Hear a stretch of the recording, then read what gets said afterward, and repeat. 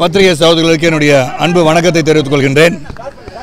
இரண்டு நாட்களுக்கு முன்பு துணை முதல்வரும் அனைத்திந்திய அண்ணா திராவிட முன்னேற்ற கழகத்தின் ஒருங்கிணைப்பாளருமான அன்பு அண்ணன் ஓபி அவர்களும் மீன்வளத்துறை அமைச்சர் ஜெயக்குமார் அவர்களும் இல்லத்திற்கு வருகை தந்து தனித்து போட்டியான நிலைப்பாடிலிருந்து நீங்கள் எங்களுக்கு ஆதரவு அளிக்க வேண்டும் என்று கேட்டுக்கொண்ட அடிப்படையிலும் மற்றும் அனைத்து அண்ணா திராவிட முன்னேற்ற கழகத்தின் முன்னோடியாக இருக்கின்ற பல அமைச்சர் பெருமக்களுக்கும் என்னுடன் பேசிய அடிப்படையிலும் எங்கள் இயக்கத்தில் ஏற்கனவே எடுக்கப்பட்ட முடிவிலிருந்து மாற்ற மா- மாறுபடுகின்ற சூழலில் மீண்டும் ஒரு முறை உயர்மட்ட குழுவை கூட்டி மாவட்ட செயலர் அழைத்து இந்த நிலைப்பாட்டில் மாற வேண்டிய ஒரு சூழல் இருக்கிறது.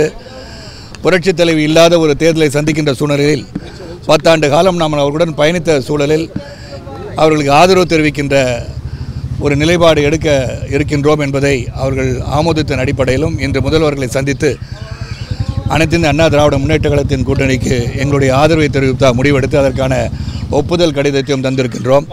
நாங்கள் தேர்தல் அறிக்கையாக உருவாக்கியதை தேர்தல் கோரிக்கையாக அவர்கள் எடுத்து வைத்திருக்கின்றோம். சார் பொதுக்குழு வந்து கடுமையான விமர்சனம் முன் வச்சிருந்தீங்க. நாங்க எக்காரணத்துக்கு கொண்டு அதிமுக போவே மாட்டோம் கண்டிப்பா. நீங்க அதாவது- நீங்க நாங்க சொல்லுங்க. ஒவ்வொருத்தராக கேள்வி கேட்டால் பதில் சொல்லு நீங்கள் ஒரு கேள்வி அங்கே ஒரு கேள்வி ஏதாச்சும் ஒரு கேள்வி பதில் சொல்லு ஏதாச்சும் ஒரு கேள்வி கேளுங்க நான் பதில் சொல்கிறேன் நீங்கள் கேட்கின்ற இருநூறு கேள்விக்கும் பதில் சொல்ல காத்திருக்கின்றேன். தொடர்ந்து அதிமுக கூட்டணி வேட்பாளர்களை ஆதரித்து பிரச்சாரம் செய்ய தொடர்ந்தாமல் இந்த தேர்தலில் வந்து அனைத்து அண்ணா திராவிட முன்னேற்ற கழகம் அவர்கள் சார்ந்த கூட்டணிகளை சகோதரர்களுக்கும் பிரச்சாரம் செய்வதாக எடுத்துரைத்தோம் ஆதரவு தெரிவித்ததாக எடுத்துரைத்திருக்கிறோம் அதிமுக கூட்டணி பிரதமர் வேட்பாளரா மோடியை தான் முன்னிறுத்திருக்காங்க நீங்க மோடி எதிர்ப்பு அரசியல கடுமையா ஆமாம் அதுக்கு தான் ஒரு கோரிக்கையை நான் எடுத்து வச்சிருக்கேன். அந்த கோரிக்கையை நான் என்ன சொல்லியிருக்கணுமா? சமத்துவம் நிலைநாட்டவும் சமதரம் நிலைநாட்டவும் சிறுபான்மையினருக்கு பாதுகாப்பும் இருக்கும் என்ற நிலைப்பாடை எடுத்து தாங்கள் பயணிக்க வேண்டும் என்ற அடிப்படையில் எங்கள் ஆதரவு உங்களுக்கு தருகிறோம் என்று வலியுறுத்தியிருக்கின்றோம். சார் பாஜக வேட்பாளர்களையும் ஆதரிச்சு நேரடியா பிரச்சாரம் பண்ணுவீங்க இல்லை பிரச்சாரம் செய்வதென்று முடிவெடுத்த பிறகு அது பாஜக வேட்பாளர் பாமக வேட்பாளர் தேமுதிக வேட்பாளர் என்று பிரித்து பார்க்கவில்லை. இந்த கூட்டணி வெற்றி பெற வேண்டும் என்பதற்காக நீங்கள் ஆதரவு அளிக்க வேண்டும் என்று கேட்டுக்கொண்ட அடிப்படையில் அவர்களை என்னை சந்தித்து எங்கள் தொகுதியில் உள்ள வேட்பாளர்கள் நீங்கள் பிரச்சாரம் செய்ய என்று கேட்டுக்கொண்டால் நிச்சயமாக அவர்களுக்காக பிரச்சாரம் செய்ய உள்ளவரை கூட்டணி கிடையாது. அந்த மாதிரி கட்சி நிர்பந்தித்தாலும் கட்சியில இருந்து வெளியே போக மாட்டேன்.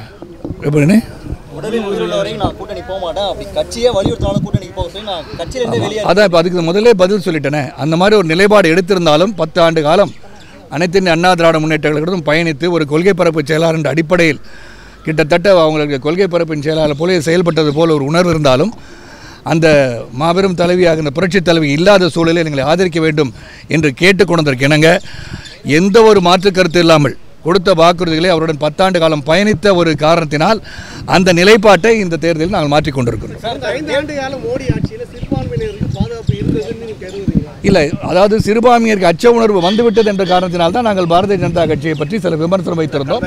ஆகவே தான் அவர்களிடம் கொடுத்த கோரிக்கையில் முதலமைச்சருடன் கொடுத்த கோரிக்கையை எடுத்து எடுத்துரைத்திருக்கின்றேன். சிறுபான்மையருக்கு பாதுகாவலராக இருக்க வேண்டும் நமது அரசு. அதை வலியுறுத்த வேண்டும் மத்திய அரசுக்கு என்பதை எடுத்து குறைத்திருக்கிறேன் கடந்த காலம் சிறுபான்மை மக்கள் தாக்கப்பட்டிருக்காங்க தாக்கப்பட்டிருக்காங்க. இந்த மாட்டுக்கறி வச்சு பற்றி பெருசா பரப்ப பேசப்பட்டது. அப்படி இருந்தும் மீண்டும் அந்த பாதுகாப்பு நினைக்கிறீங்களா? இல்ல நீங்க சிறுபான்மை மக்களை இல்லை ஏன்னா மத்திய அரசு என்று சொல்லும்போது அனைத்து மாநிலங்களுக்கு மாநிலங்களும் பாதுகாப்பாக இருக்க வேண்டும். அது மட்டுமல்லாமல் இருக்கின்ற குடிமகன் அனைவரும் வந்து சிறப்பாக பாதுகாப்பாக இருக்க வேண்டிய சூழலை உருவாக்க வேண்டும் என்பதுதான் மத்திய அரசின் பொறுப்பு. அதை நிலைநாட்டுவதற்காகத்தான் செக்யுலரிசம் என்ற வார்த்தை கான்ஸ்டியூஷன் இருக்கிறனால அது நிலைநாட்டப்பட வேண்டும். சில சமயங்களில் சில தலைவர்கள் அச்சுறுத்தலாக பேசுவதன் விளைவாகத்தான் மத்தியில் நடக்கின்ற ஆட்சியாளர்கள் மீது சந்தேகம் வந்திருந்ததை நான் அந்த சந்தேகத்தை எழுப்பியிருந்தேன். ஆக அந்த உத்தரவாதத்தை சிறுபான்மையருக்கு பாதுகாவலராக மத்திய ஆட்சி இருக்க வேண்டும்.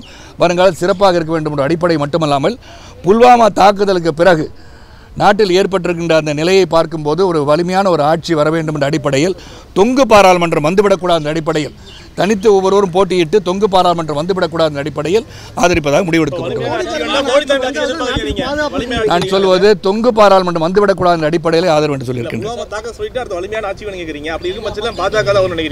அப்படி இல்லை இப்போ நாளைக்கு வந்து காங்கிரஸ் ஆட்சி வர வேண்டும் என்று மக்கள் விரும்பினால் அதை நான் தடுக்க முடியாதுல்ல. ஒவ்வொருவரும் அந்த ஆட்சி சிறப்பாக இருக்கின்ற எண்ணத்திலே பயணித்துக் கொண்டிருக்கின்றோம். இவர் வலிமையான ஒரு ஆட்சி ஒரு தொங்கு பாராளுமன்ற ஆட்சியாக மத்திய அரசில் மீண்டும் பாஜக வந்துவிட்டால் அவர்களிடம் வைத்திருந்த கோரிக்கை பற்றி நான் எடுத்துரைத்திருக்கிறேன் சட்டமன்ற தேர்தலில் தனித்து சொல்லி அதாவது இன்னைக்கு நான் நாளைக்கு நான் உயிரோடு இருக்கேன்னு எனக்கு தெரியாது. நாளைக்கு வந்து என்ன நடக்கும் தெரியாது. உங்களுக்கும் தெரியாது எனக்கும் தெரியாது. தேர்தல் முடிந்த பிறகு பார்ப்போம். அதை பற்றி நான் விவாதிக்கிறேன். போரில் வெற்றி வர வரலாம் தோல்வி வ- தோல்வி மரணம் மரணம் வரலாம்னு சொல்லிட்டான்.